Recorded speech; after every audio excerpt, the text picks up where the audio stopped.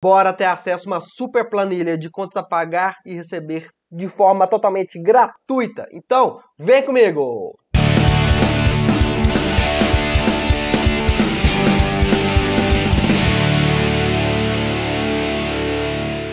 pessoal, eu sou Thiago Terro, seu professor de Excel, e nessa aula eu estou te dando um presente, uma planilha completa e totalmente gratuita de contas a pagar e receber, para você baixar, abrir ela e começar a aplicar aí no seu trabalho imediatamente. Beleza? Bora conferir essa planilha?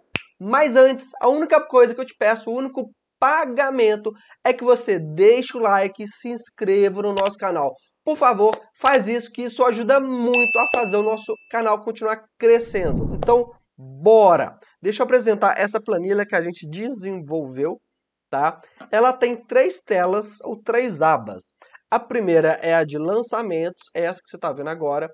Temos a de relatório e também temos a de configurações. Vou apresentar cada uma delas aqui, tá bom?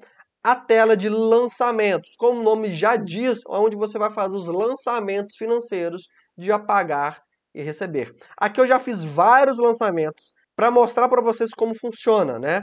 Aqui eu tenho uma data de competência, né? A data, geralmente a data da venda ou a data que foi gerado aquela receita ou despesa, uma descrição, aqui uma descrição livre, né? Aqui você pode digitar, ah, pagamento, compra computadores, não sei, alguma descrição seja fácil para você identificar no que, que se refere esse pagamento ou essa receita.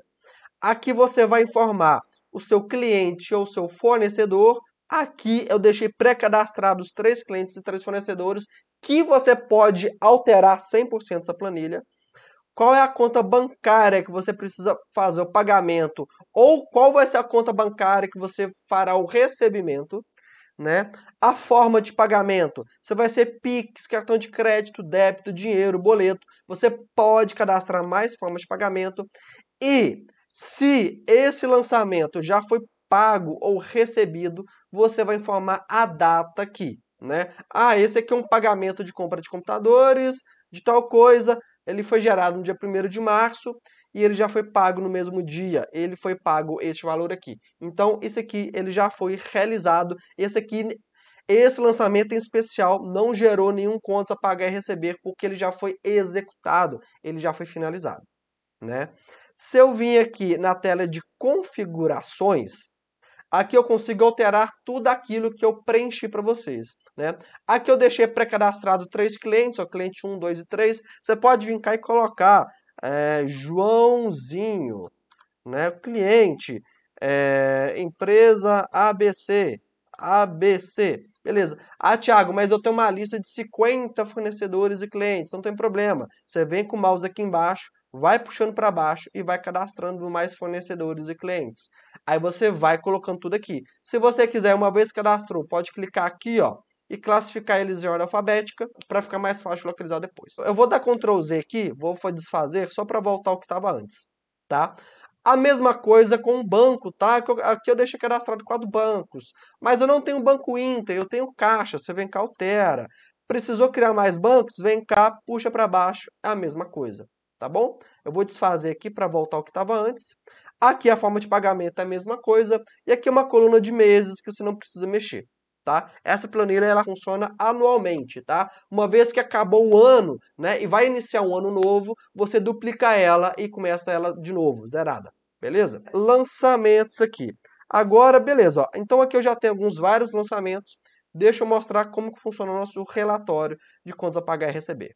Aqui em cima no nosso relatório, eu tenho o meu filtro, né? Basta escolher o mês, né? Ó, janeiro, ó, não tem nenhum, não é encontrado. Abril, não é encontrado, não tem nada pendente. Outubro, já foi encontrado. Se você quiser de todos os meses, você clica aqui, vem cá em todos, ele vai filtrar de todos os períodos para você. Eu vou manter todos aqui. O que, que ele traz? Ele traz uma lista, que essa lista tem então até 300 lançamentos, mas você pode replicar aqui caso você deseje tá? E o que, que ela traz? Ela traz as informações daqui de lançamentos de forma resumida.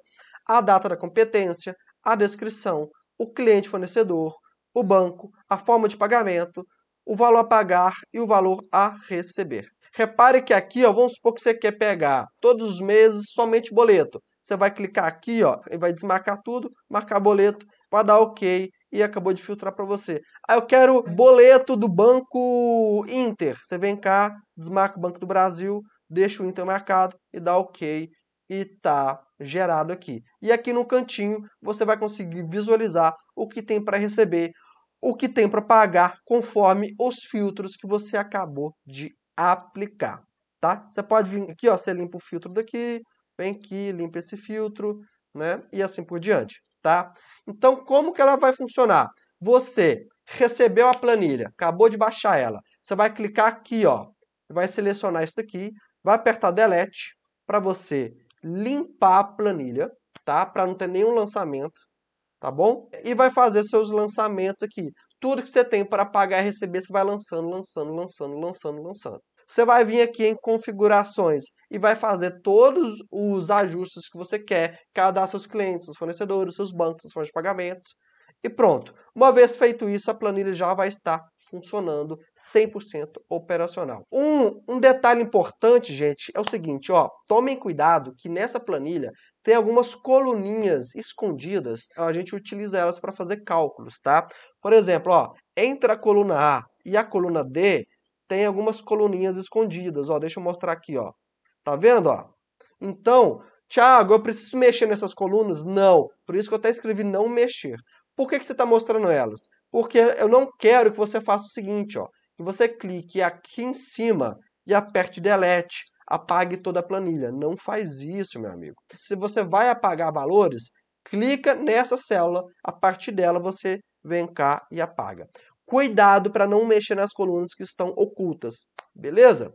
Feito isso, a planilha está totalmente prática e funcional para você utilizar. Então, por favor, o único pedido, só o único pedido que eu faço é deixa o like, se inscreva no nosso canal. Isso é muito importante para fazer que o nosso canal continue crescendo, crescendo, crescendo cada vez mais. E se você quiser mais planilhas financeiras, eu vou deixar aqui abaixo desse vídeo uma mega planilha financeira que a gente tem, que ela faz controle financeiro, DRE e tem dashboards financeiros. Então, se você quiser ter acesso a essa planilha, vem aqui no link na descrição.